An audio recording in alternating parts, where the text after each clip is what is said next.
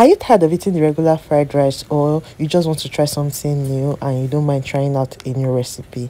Hey guys, welcome back to my YouTube channel. My name is Abisola. In this video, I'll be teaching you how to make this yummy and delicious goat meat fried rice. So in my pot, I'm going to add my vegetable oil, then I'm going to go ahead to pour in my diced carrots, green peas, and then I'm just going to go ahead to stir fry this for a while the next thing i'm going to do is i'm going to add some nice vegetables because you know there's no fried rice without vegetables and there's no vegetables without fried rice. Well i don't know if that makes sense. So the next thing i'm going to do is i'm going to add my red pepper and then the green pepper so i'm going to stir this for a while before i add other ingredients. Please guys if this video is very helpful let me know in the comment section and also share my videos. So guys it is very important to stir fry your vegetables before you use it for your fried rice. One of those things i learned is that when you stir fry your vegetables, it helps the rice from spoiling on time and also it makes the fried rice taste very good. So the next thing I did was to add my sweet corn to the vegetables and then I kept stir frying it. So guys, are you guys seeing the colors? the colors are popping like so beautiful. So then I'm just going to go ahead to add my salt, garlic powder and ginger powder. Then I'm just going to stir for like two minutes and then I will take out the vegetables. After you added the ingredients, by now eh, you know that your rice aroma eh, will have gone over the roof and everybody just asking, ah, ah, what are you cooking? So at this point, I'm just taking out the vegetables. Although you can wash the pot if you want to wash pot that pot, but I'm not doing that because I need to maintain the flavor of the vegetable in my rice. So guys, next we are using now is coconut oil and then we are putting our garlic, and also the onions. So i've actually um, grated the garlic in my chopper already so that is why you can see this way. And the reason why i'm using coconut oil you can use vegetable oil but i just wanted that coconut flavor in this rice please feel free to use vegetable oil feel free to use any type of oil you want to use. So once i stir this and it is translucent enough then i'm just going to go ahead to pour my washed basmati rice. I used aeroplane rice basmati rice in this video. You can use any type of basmati rice you are comfortable with. So guys i'm just going to go ahead to stir it. The reason why they call this fried rice is because you, you need to fry the rice before you cook it do you understand what i'm saying? I, I, hope i'm making sense. So you need to fry it right? By this time like this with this process you are on by the time you try this recipe. People will come and be asking you what are you cooking? What did you add in your stew? Because the aroma would have filled your kitchen your house and then everybody just be, their mouth will be watering. So guys i went ahead to keep stir frying this rice until when i'm sure that i have gotten the right consistency that i needed then once we are done with this we are going to go ahead to add other things to this rice. I hope this video is helpful. The reason i'm asking is because i really like you guys to comment on my videos and also encourage me to post more videos. So guys the next thing i'm going to do is add pepper.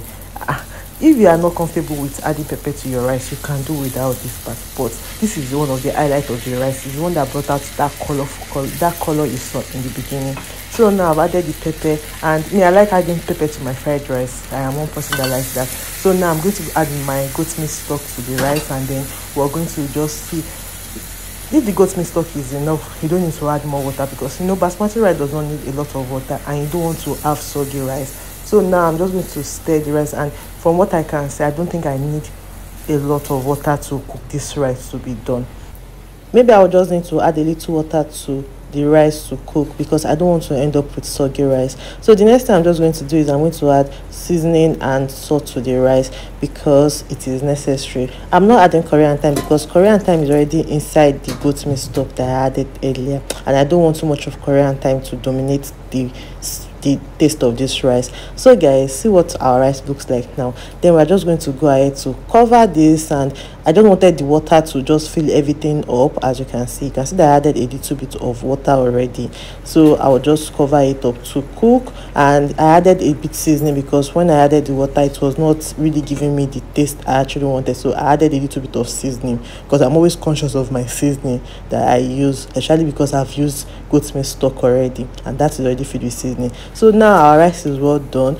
You know we've edited this video so you don't expect that you should see the process of when the rice was cooking. But it was just less than 20 minutes that the rice was done. As you can see we have a very nice and see the rice now it's already coming together. Even without the vegetables yet see what we have already. Looking so lush and yummy and sumptuous. Hmm. are you guys hungry already? By now i'm sure you just wondering like ah, so what is the next thing you're going to do now? But you don't need to stress yourself too much by wondering. We're adding our vegetables to this rice see left alone this rice is already looking good. Like you can even eat it like this without the vegetables but well you know it is fried rice we are making so we need all those veggies all those veggies the colors. So now see our colors we already put them in our vegetables and they are looking so good. Okay let's mix. Oh this is where the highlight is. See the colors. See i'm so sometimes like this when i cook i'm always like ah solar you can cook. Ah ah do cook fire.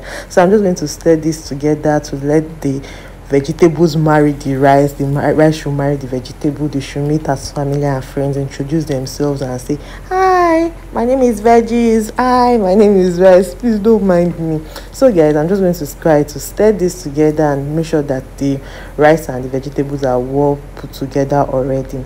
So guys don't forget that we are making goat meat fried rice and we've used goat meat stock already. That's one of the highlight of it. And don't by now you should know that i have cooked the goat meat before now and then i have fried it. So either you've grilled your goat meat or you're going to fry it before you use it for this recipe. So guys see how the colors are looking so good and yummy. Sometimes like this type of food you just want like do i need to serve people? Let me just sit down and be eating my thing at home on my own. I just i'm just showing you how good looking this rice is while i stir it and let it cook and dry up. The water dries very well so our last stage is here adding the goat meat to the rice. So as i mentioned earlier i have fried the goat meat already. Then i'm just I've added it already to the rice. I think i missed this clip while i was shooting. So as you can see the goat meat now i cut them into chunks before I use them because we don't want to have big big bones. And I make sure that I use the fleshy part of the goat meat not the bone side because you know this is a rice recipe and we just need to be taking it with the rice. So now i've added my spring my, my spring onions already. I cut the spring onions already so i've added them and see how colorful our rice is looking. And that is it all for this recipe. What do you guys think? Do you think you'll be able to try this out? Do you think this recipe is very helpful? Do you think it is actually as good as what it looks? Hmm. Who wants to come for tasting one of these days so that you can come and eat and enjoy what what i have in my kitchen so guys let me know what you think about this video in the comment section. And don't forget to like share my video and also drop a comment. Please i am fully back on youtube and i'm going to be posting more recipes now long form and also on short. Please encourage me by engaging with my posts sharing my videos and also dropping comments because your feedback also matters a lot to me and it's it pushes it pushes me to do more and also makes me happy. I like to connect with you guys. Thanks for watching guys and let's enjoy. So this is me serving my rice and i'm about to enjoy my sunday rice because i cooked this on a sunday and to be honest it was the best thing that happened that day to me.